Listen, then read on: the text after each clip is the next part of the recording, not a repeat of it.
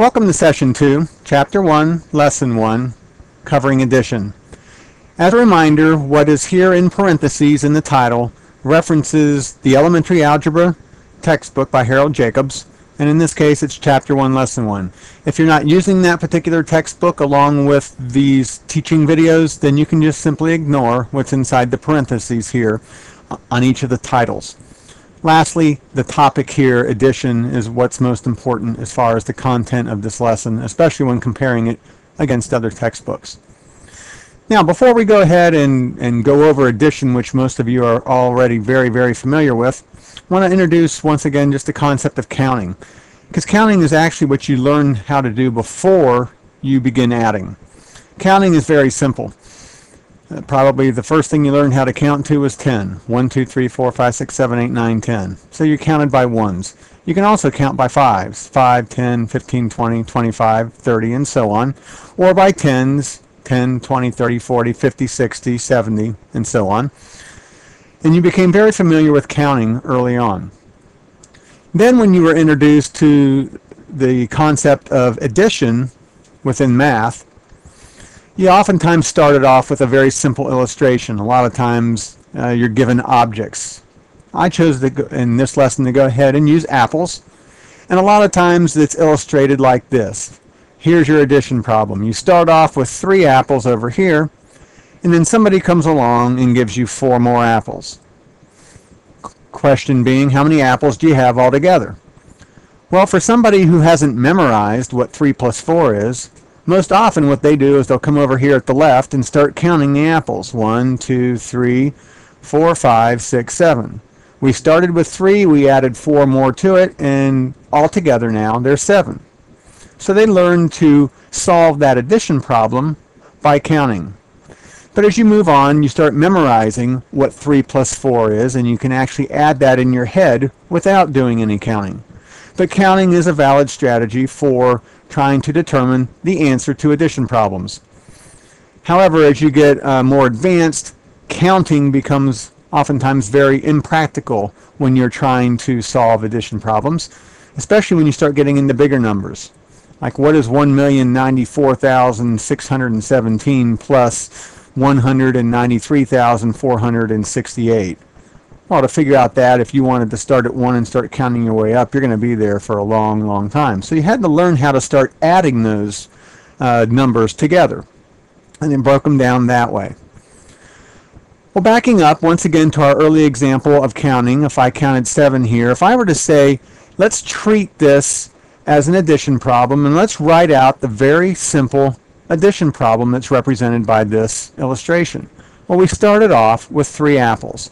So I'm going to come over here and just write the number 3. And then I'm going to have a plus sign to indicate that we're adding. And what are we adding to those three apples? Well, we're adding four more apples. So our addition problem, or our addition phrase here, to illustrate this problem with apples is simply 3 plus 4. This 3 indicating the three apples that we started with, and this 4 here representing the four apples that we added to it. Well, another way of thinking about addition is to use a number line. So I just drew a very simple number line down here, and we're starting at the left. And we can see here that the distance from this beginning point over to this second hash here is 2 inches. And that's because each one of these vertical hashes here represents 1 inch. So the distance from here to here, which is represented by this blue bracket up here, is 2 inches. Well, at this same point here, we are now going to add seven more inches to it. One, two, three, four, five, six, seven. So once again, we could treat this number line and say, well, what is the total length here? We could just simply start at the beginning and count. One, two, three, four, five, six, seven, eight, nine. The total length is 9 inches. However, we want to solve this problem not by counting. We want to solve it by adding. Not adding with counting, but just simply adding. And this should be something that's memorized in our head because we have small enough numbers here. Well, if we were to take a look at this and rewrite this as a math phrase, we're going to start off with our beginning value, our beginning number. Well, what is our beginning number? It's the 2 inches. So we come over here and we write the number 2, and then we write a plus sign to indicate that we're going to add something to that 2 inches, and what we're adding to it is 7 inches. So our math phrase here is 2 plus 7, representing the 2 inches plus the 7 inches. And of course we know that the answer to that then would be 9. Let's do just a couple quick ones here uh, in our head. I'll write them down here for us and then we'll move on. Here's the problem. Write down the mathematical phrase for you start off with 11 oranges and somebody gives you 3. Well, you start off with 11 and then you add 3 to it. So your mathematical phrase there would be 11 plus 3. Now let's say we give you 17 and what you're going to add to that is 11.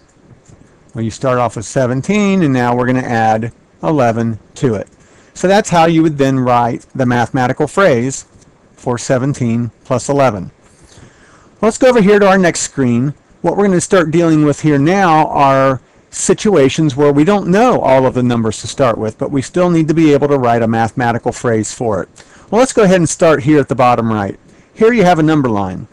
We know that our first distance here is 7. We know that our next distance here is some unknown number. We don't know what that number is, so we assigned the letter x to it. As a reminder, in algebra, we use symbols to represent unknown numbers, and the symbols that are used by convention are letters of the alphabet. So we've chosen to, to use the letter X here. It could have been any letter, A, B, C, G, H, Z, whatever. X just happens to be the letter of our alphabet that's used the most often. So what we have here is we have a number line. We know that this length here is 7. We know that this length here is some unknown number, which has a value of x assigned to it. And then our last here is 12. Going off the same example or the same situations that we had on the previous screen, how would we write the mathematical phrase for this addition problem? Well, we're starting off with the number 7. And what we're adding to it is our length of x, which is the second one in our number line there. Then what we're going to add to that is our third one, 12.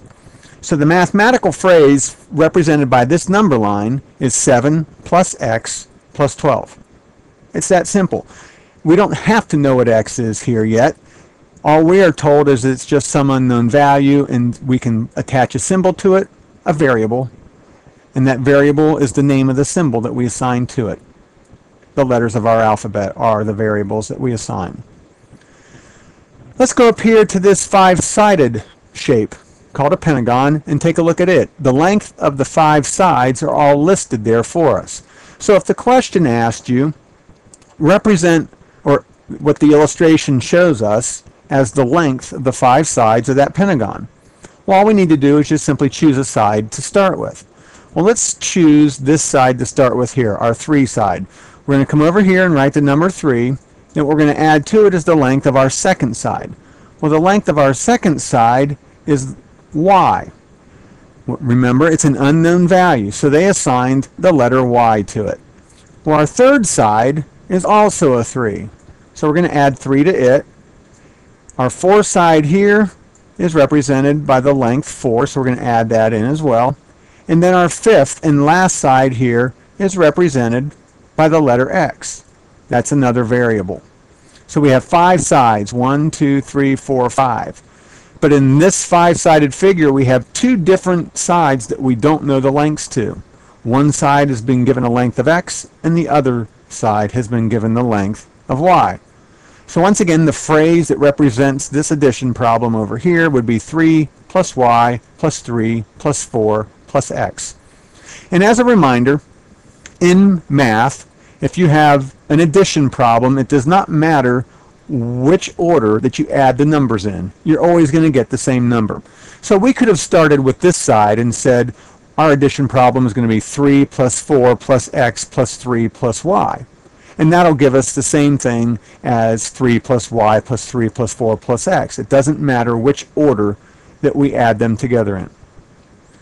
Let's take one more look here at the bottom right before we go to our review points for this lesson, and that is, what if I said that x in this particular case was 15? Well, if x is 15, what would the total length be then of this line segment? Well, in order to figure it out, we would stick the 15 up here into our our mathematical phrase here. 7 plus x, well x is 15. 7 plus 15 is 22. 22 plus 12 is 34. So when x is 15, the length of this line segment is 34. Well, let's say I said that the length of this x is really 1. Well, we would then insert a 1 for our x up here, and we can find out that the length would be 7 plus 1, that's 8. 8 plus 12 would be 20. What if I chose x to be 5? Hypothetically, what if x were a 5? Well, if it was, 7 plus 5 is 12, and 12 plus 12 is 24. So that we can see the x can vary depending upon which numbers we are told to put in or which numbers that we selected for ourselves. Because of that, that's why these letters, these symbols are called variables. Variables are letters in algebra that represent an unknown number and are most often represented with different letters of our alphabet with X and Y being those that are probably used the most often. And then lastly, as a reminder, the sum, most of you are already familiar with that term, but the, the sum is the answer to an addition problem. So whenever you're adding two or more numbers together, the answer to that addition problem is called the sum. Okay then, that'll wrap up this session on addition.